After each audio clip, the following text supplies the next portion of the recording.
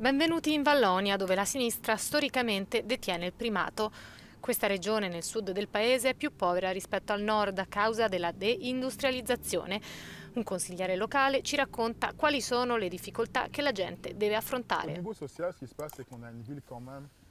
C'è molta povertà, molte persone in difficoltà, la città è messa male e quello che cerchiamo di fare è cercare dei fondi per riqualificarla. La regione era prospera durante l'epoca industriale. Trent'anni fa ha chiuso l'ultima miniera di carbone e da allora molte industrie se ne sono andate. Ora è il più alto livello di disoccupazione nel paese. Alle ultime elezioni il Partito dei Lavoratori ha ottenuto risultati impressionanti. Il Partito Socialista ha ancora il primato, ma il Partito dei Lavoratori invierà sette deputati al Parlamento federale. Cercheranno di contrastare i privilegi dei partiti tradizionali. Vogliamo dimezzare gli stipendi dei parlamentari e dei ministri perché così potranno rendersi conto di come vivono le persone normali.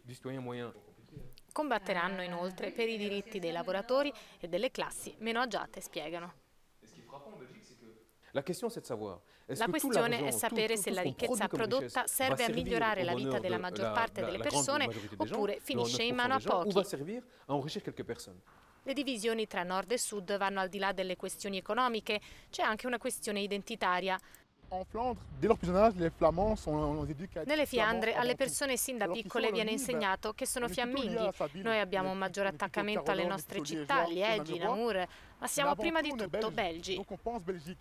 L'identità nazionale è una questione irrisolta, ma prima sarà necessario formare un governo.